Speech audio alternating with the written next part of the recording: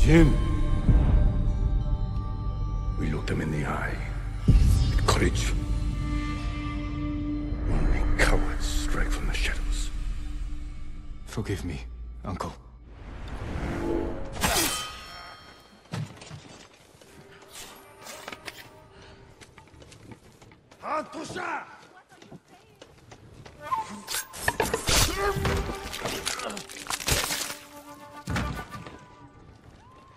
I wish you had gotten here before they burned half the town.